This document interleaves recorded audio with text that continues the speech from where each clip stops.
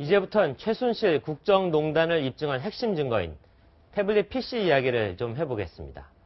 최순실, 고영태 모두 주인이 아니라고 주장하고 있고 국회 국정조사 청문위원들은 위중교사 논란으로 뜨거운 설전을 벌이고 있습니다.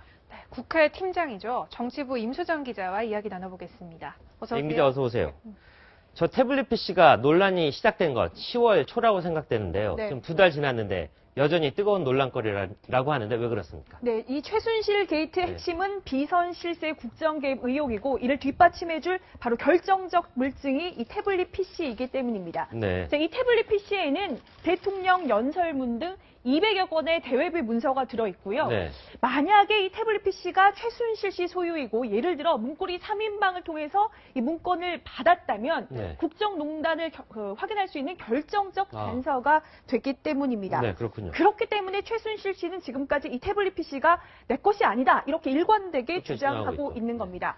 이 최순실 씨와 그런데 사이가 틀어진 고영태. 씨마저 최근에 청문회 나와서 음. 이 최순실이 태블릿 PC 같은 걸 사용 못하는 사람으로 안다 이렇게 그렇죠. 증언을 하면서요. 네. 이 태블릿 PC의 주인이 진짜 누구냐 네. 계속해서 미국에 빠진 상태입니다. 그렇군요. 이 검찰이 만약에 최 씨가 태블릿 PC의 소유주라는 사실을 입증하지 못한다면 네. 혐의의 상당 부분이 깨질 가능성도 있습니다. 아, 그렇군요. 이 네. 태블릿 PC가 결국 누구 건가를 놓고 증언이 상당히 엇갈리고 있는데요. 네. 네. 누가 누구 편입니까? 네, 한때는 모두 최순실 씨의 최측근이었던 사람들이 지금 진실 공방을 벌이고 있, 는 겁니다. 다 최순실의 사람들이 이제는 네. 편이 나눠졌다 이런 얘기군요. 네, 그렇습니다. 논란은 최순실, 고영태 이 두 축으로 나뉜다. 쉽게 네. 이렇게 볼수 네, 있겠습니다. 자, 최순실 씨의 편이라고 표현을 하겠습니다. 네네. 이 정동춘 K스포츠 이사장, 네. 최순실 씨의 단골 마사지, 마사지. 센터 이사장, 사- 어, 마사지 센터 원장이었다가 K스포츠 이사장이 된 정동춘 그렇죠. 이사장과 네. 박헌영 K스포츠 재단 과장입니다. 최순실 씨의 보좌 역할을 했던 것으로 네. 알려졌습니다. 4차 청문회 때 나와서 네. 청문했던 사람이죠. 그렇습니다. 이 최순실 라인과 대척점에 선 사람들이 바로 고영태 씨와 네. K스포츠 재단 부장인 노승일 부장인데요. 네. 이 노승일 부장 배드민턴 선수 출신인데 이 고영태 씨와 대학교 선후배 사이입니다. 예. 네. 그래서 이 고영태 씨가 최순실 씨에게 이 노승일 부장을 소개시켜줬다 아, 이렇게 그렇구나. 알려져 있고요. 네. 그런데 이제 지난해 말 고영태 씨와 최순실 씨의 관계가 이 틀어지면서 네. 이두 사람 모두 지금 최순실 국정농단 폭로에 적극적이 됐다 이렇게 설명드릴 수 있겠습니다. 네, 저렇게 하다 보니까 청문회장에서 결국 위증 논란까지 네. 이어졌고 그게 정치권에서 공방까지 이어지고 있죠. 네, 이 바로 노승일 부장이 최근 한 언론과 인터뷰를 했는데요. 네. 이 새누리당 이완영 의원이 이완영 이 태블릿 PC는 고영태의 것으로 보이도록 하자. 아하. 그리고 JTBC가 훔친 것으로 하자. 아하. 이렇게 정동춘 이사장의 제의를 했고요. 정 이사장의 이를 박헌영 과장에게 전달했다. 이런 폭로를 했습니다. 그렇죠. 이완영 의원, 친박계 의원으로 분류가 되고 있습니다. 네. 이노 부장은 박헌영 과장이 투덜거리면서 직접 나한테 털어놨다. 이렇게까지 주장을 했습니다. 그렇죠. 자, 정동춘 이사장과 이완영 새누리당 의원 두 네. 사람 모두 만난 사실 자체는 인정을, 인정을. 했죠. 네. 네, 두 사람 모두 고등학교 선후배 사이입니다. 선후배 사이. 예. 자, 정동춘 이사장은 1차 청문회가 열리기 전인 4일 네. 이완영 의원을 만났고 네. 실제로요 이완영 의원은 그 이후에 열린 청문회에서 이 고영태 씨에게 태블릿 PC에 대해서 집중 추궁을 하기도 했거든요. 그렇죠. 그 장면을 먼저 보시겠습니다. 네. 그때 본인이 이 태블릿 PC를 들고 다닌 적도 있습니까? 없습니다. 그러면은 충전기 뭐 이래 활용 문제 이런 것도 주문 받은 게 있습니까? 없습니다. 전혀 없으십니까? 네. 예. 네, 뭐 사실 저 청문회에서는 이제 별다른 내용이 밝혀지지 않았는데 네. 이 정동춘 이사장 이완영 의원을 한 번 더 봤다고. 채널A와 단독 인터뷰를 했습니다. 네. 닷새 뒤인 지난 9일인데요. 네. 이완영 새누리당 의원실에 가서 이 이만희 새누리당 의원, 최교일 새누리당 의원까지 한꺼번에 네 사람이 봤다는 겁니다. 청문위원 팀을 한꺼번에 만났다 네, 이런 그렇습니다. 얘기네요. 네. 그런데 정동춘 이사장은 그냥 큰 의미는 없었고 태블릿 PC에 대해서 이 세 사람들이 궁금해하는 점을 그렇죠. 해명해 줬을 뿐이다 이렇게 이야기를 하고 있습니다. 네. 그런데요, 네. 그 고영태 씨가 이제 이 이후죠. 지난 13일 박헌영 과장이 고 씨가 태블릿 PC를 가지고 다닌다 이렇게 네. 위증을 할 것이라고 예고를 했었고 예고를 했죠. 실제 그 내용은 이완영 새누리당 의원이 아닌 다른 의원 질문에서 나왔는데요. 바로 여기 있는 이만희 이만희. 새누리당 의원입니다. 네. 당시의 상황을 보시겠습니다. PC를 보신 적이 있습니까? 네. 아, 그 말씀은 그 태블릿 PC가 이번에 종편에서 문제가 됐던 그 PC가 맞습니까?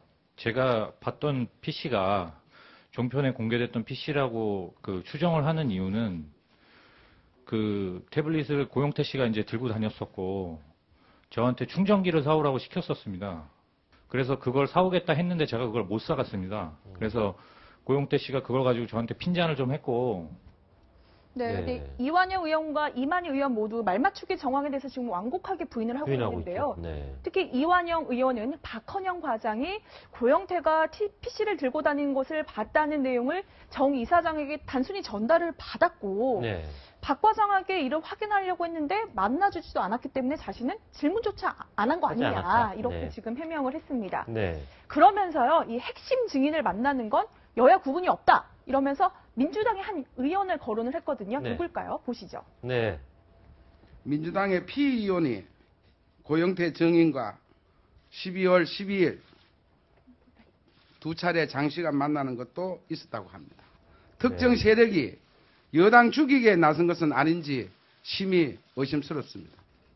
네, 나만 핵심 증인을 만난 건 아니다. 네. 그러니까 민주당의 모 의원, 피 의원이라고 알려졌는데요. 네. 이 사람 또 만났다. 이 누굽니까? 피 의원. 네, 일단 이 노승일 부장과 최순실 씨의 육성 파일을 공개한 지금 민주당의 박영선 의원으로 지금 아, 추정이 그렇군요. 되고 있는데요. 네. 그 저희가 취재진이 연락을 했더니 박 의원은 그 고영태 씨와 만났냐 이렇게 묻자 가타부타 답을 하진 않았고 네. 이게 정치 공작이다, 네. 어, 이렇게 음해다 이렇게 주장을 했습니다. 네. 그런데요, 실제로 야당 의원들은 이 최순실 씨 국정농단을 폭로한 고영태 씨를 청문회 과정에서 좀 지켜 세우기도 했었는데요. 그 장면을 좀 보시겠습니다. 네. 국민들은 고영태 증인의 신, 신변 안전에 대해서 걱정을 많이 했습니다. 네. 저는 고영태 증인을 판도라의 상자를 연 사람이라고 생각합니다. 네.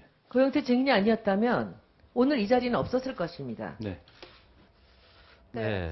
물론 뭐 청문회 준비를 위해서 여야 의원들이 핵심 증인들을 힘들게 어렵게 접촉하는 것 자체를 비난할 수는 없겠지만 그렇죠. 이 위증교사 논란이 일 정도로 이 태블릿 PC의 소유주가 중요하다 그런 네. 뜻일 거고 이 공방은 또 계속될 것으로 그렇게 보입니다. 어쨌든 지금 임수정 기자 설명대로 자 편이 좀 갈려져 있다는 느낌 확, 확연히 드네요. 그런 말 속에서도. 네. 자, 저 진실 게임 조금 있으면 이제 판명이 날 수 있다고 하죠. 네. 언제입니까? 암- 네, 사흘 뒤 네. 22일 5차 청문회가 열리는데요. 네. 이 자리에 고영태 씨와 이 박헌영 K스포츠 재단 과장이 증인으로 나오는 만큼 이 새누리당 친박계 의원들과 대질 신문이 예상됩니다. 네. 그 민주당은 벌써부터 이 친박계가 가세한 국정조사 농단으로 규정하고 있는데요. 네. 이 논란이 이렇게 위증 논란이 커지면서 김성태 국조특위위원장이 오늘 그 긴급 회의를 소집을 했어요.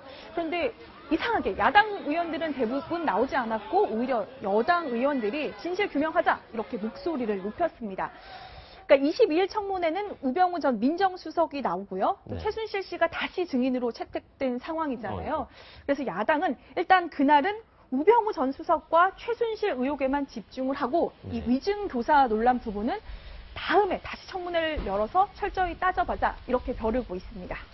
근데 어쨌든 태블릿 PC의 진실, 그 최순실 국정농단의 어떤 실체적 진실을 입증하는 데 굉장히 중요한 자료죠. 혹시 오염이 됐다면 그 또한 명명백백하게 밝혀져야 될 것 같습니다.